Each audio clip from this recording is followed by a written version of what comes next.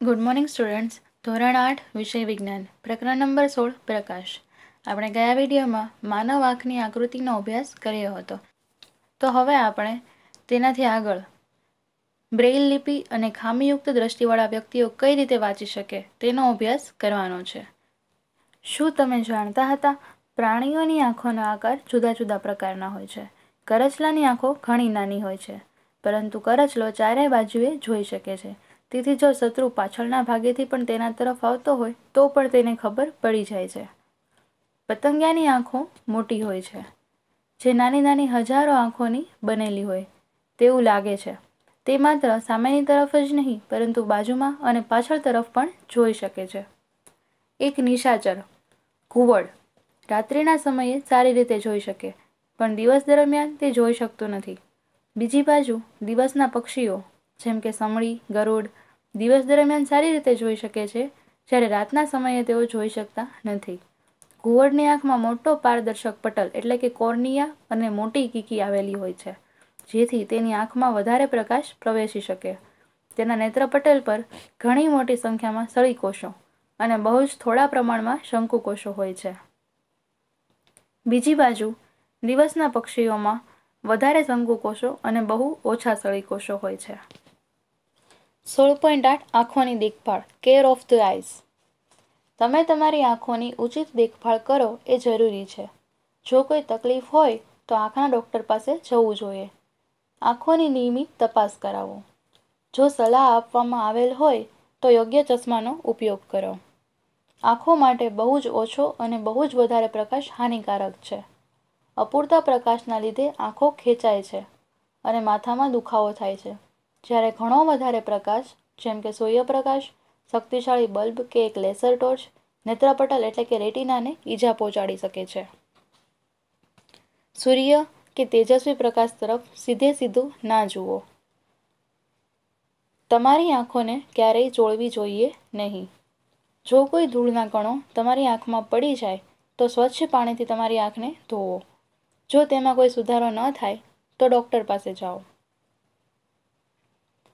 તમારી આંખોને વારંવાર સ્વચ્છ પાણીથી ધુવો. યોગ્ય દ્રષ્ટિ માટે હંમેશા સામાન્ય અંતર રાખીને વાંચો. પુસ્તકને આંખોની એકદમ નજીક લાવીને કે એકદમ દૂર રાખીને ના વાંચવું જોઈએ ધોરણ છમાં સમતોલ આહાર વિશે શીખ્યા છો. જો આહારમાં અમુક ઘટકોની ઉણપ હોય, તો આંખોને પણ તે સહન કરવું પડતું હોય છે. ભોજન સામગ્રીમાં વિટામિન એની ઉણપ એ આંખોની ઘણી મુશ્કેલીઓ માટે જવાબદાર છે. તે બધામાં સૌથી સામાન્ય રતાંધણાપણું છે. આથી આપણે આપણા આહારમાં વિટામિન એ યુક્ત ખોરાકના ઘટકોનો સમાવેશ કરવો જોઈએ.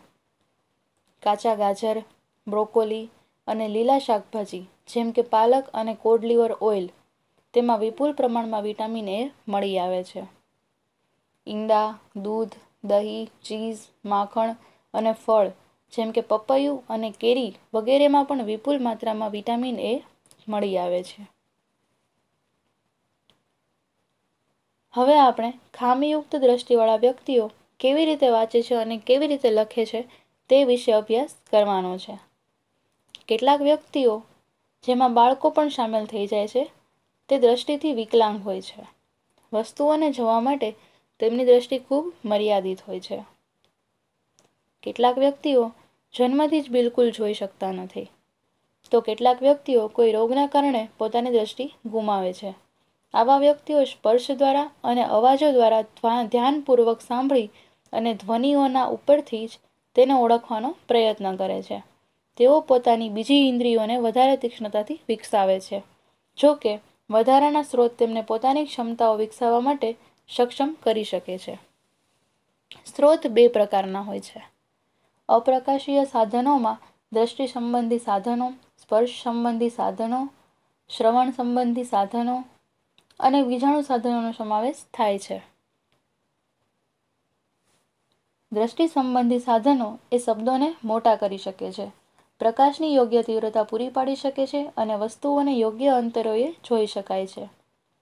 તેવી જ રીતે, સ્પર્શ સંબંધી સાધનોમાં ખામીયુક્ત દ્રષ્ટિવાળા વ્યક્તિઓને નોંધ કરવામાં, વાંચવામાં અને લખવામાં મદદરૂપ થાય તેવી બ્રેઇલ લિપિની લખવાની પાટી અને કલમ સામેલ છે.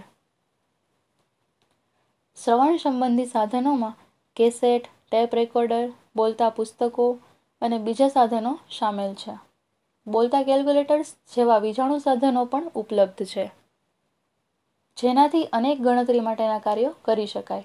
બંધ પરિપથ ટેલિવિઝન પણ એક વીજાણુ સાધન છે, જે મુદ્રિત સામગ્રીઓને યોગ્ય રંગ છટાઓના ભેદની માત્રા અને પ્રકાશિતતા સાથે વિસ્તૃત કરે છે. આજકાલ શ્રવણ, સીડી તથા કોમ્પ્યુટર સાથે વાકયંત્રો પણ જરૂરી શબ્દોને સાંભળવા અને લખવા માટે ઘણા ઉપયોગી છે. પ્રકાશીય સાધનોમાં દ્વિકેન્દ્રીય લેન્સ, કોન્ટેક લેન્સ, રંગીન લેન્સ, વિસ્તૃત કરનાર અને ટેલિસ્કોપિક સાધનોનો સમાવેશ થાય છે. જ્યારે લેન્સના સંયોજન એ દ્રષ્ટિ મર્યાદાઓને સુધારવા માટે ઉપયોગમાં લેવામાં આવે છે. ટેલિસ્કોપિક સાધનો ચેકબોર્ડ તથા વર્ગ નિદર્શન જોવા માટે ઉપલબ્ધ છે. બ્રેઇલ લિપિ શું છે? What is the Braille system ખામીયુક્ત દ્રષ્ટિવાળા વ્યક્તિઓ માટે સૌથી વધારે લોકપ્રિય સ્ત્રોત એ બ્રેઇલ લિપિ છે. લુઈઝ બ્રેઇલ, જે પોતે એક ખામીયુક્ત દ્રષ્ટિવાળા વ્યક્તિ હતા. તેમણે ખામીયુક્ત દ્રષ્ટિવાળા વ્યક્તિઓ માટે એક લિપિ વિકસાવી. અને અઢારસો એકવીસમાં તેને પ્રકાશિત કરી. વર્તમાન પદ્ધતિ ઓગણીસો બત્રીસમાં અપનાવવામાં આવી. સામાન્ય ભાષાઓ, ગણિત તથા વૈજ્ઞાનિક સંકેતો માટે બ્રેઇલ કોડ હોય છે. બ્રેઇલ લિપિનો ઉપયોગ કરીને ઘણી ભારતીય ભાષાઓને વાંચી શકાય છે. બ્રેઇલ લિપિમાં ત્રેસઠ ટપકાની તરાહો કે ચિહ્નો હોય છે.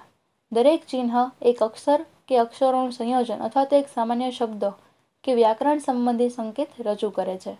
ટપકાઓને બે ઊભી હારના ખાનાઓમાં ગોઠવવામાં આવે છે. દરેક હારમાં ત્રણ ટપકાઓ હોય છે. થોડા અંગ્રેજી શબ્દો અને થોડા સામાન્ય શબ્દો રજૂ કરવા ટપકાની તરાહો નીચે દર્શાવેલ છે. આ તરાહોને જ્યારે બ્રેઇલ લિપિની શીટ પર ઉપસાવવામાં આવે છે, ત્યારે તેને ખામીયુક્ત દ્રષ્ટિવાળા વ્યક્તિઓ સ્પર્શ કરીને અક્ષરોને ઓળખે છે. સ્પર્શ કરવાનું સરળ બનાવવા માટે ટપકાઓને થોડા ઉપસેલા રાખેલા હોય છે. ખામીયુક્ત દ્રષ્ટિવાળા લોકો સૌ પ્રથમ અક્ષરોથી બ્રેઇલ લિપિ શીખવાનું શરૂ કરે છે. પછી વિશિષ્ટ ચિહ્નો અને અક્ષરોના સંયોજનો શીખે છે. તે પદ્ધતિઓ સ્પર્શથી ઓળખ કરવા પર આધાર રાખે છે. દરેક ચિહ્ન યાદ રાખવાના હોય છે. બ્રેઇલ લિપિનું લખાણ હાથ કે મશીન દ્વારા ઉત્પન્ન કરી શકાય છે. આજકાલ ટાઈપરાઇટર જેવા સાધનો અને મુદ્રણ એટલે કે પ્રિન્ટિંગ મશીનો વિકસાવવામાં આવ્યા છે. થોડા ખામીયુક્ત દ્રષ્ટિવાળા ભારતીયોને મહાન ઉપલબ્ધિઓ પ્રાપ્ત કરવાનો શ્રેય જાય છે. દિવાકર નામના એક મેધાવી બાળકે ગાયક તરીકે અદ્ભુત પ્રદર્શનો આપ્યા છે. જન્મથી સંપૂર્ણ ખામીયુક્ત દ્રષ્ટિવાળા શ્રી રવિન્દ્ર જૈન અલ્હાબાદથી પોતાની સંગીત પ્રભાકરની ઉપાધિ મેળવી હતી. તેમણે એક ગીતકાર, ગાયક અને સંગીત રચયિતા તરીકે પોતાની શ્રેષ્ઠતા દર્શાવી છે. લાલ અડવાણી, જે પોતે ખામીયુક્ત દ્રષ્ટિ ધરાવે છે. તેમણે ભારતમાં વિકલાંગોના પુનર્વસન અને વિશિષ્ટ કેળવણી માટે સંસ્થાની સ્થાપના કરી. આ ઉપરાંત તેમણે યુનેસ્કોમાં બ્રેલ સમસ્યાઓ પર ભારતનું પ્રતિનિધિત્વ કર્યું. અમેરિકાની એક લેખિકા અને પ્રાધ્યાપિકા, હેલન એ કેલર કદાચ સૌથી વધારે જાણીતી અને પ્રેરણાદાયી ખામીયુક્ત દ્રષ્ટિવાળી વ્યક્તિ છે. તે માત્ર અઢાર મહિનાની ઉંમરે પોતાની દ્રષ્ટિ ગુમાવી દીધી હતી. પરંતુ પોતાના સંકલ્પ અને સાહસના લીધે એક વિશ્વવિદ્યાલયમાંથી એક સ્નાતકની ઉપાધિ તેણે પ્રાપ્ત કરી શક્યા હતા અને સ્ટોરી ઓફ માય લાઈફ સહિત તેમણે ઘણા પુસ્તકો લખ્યા.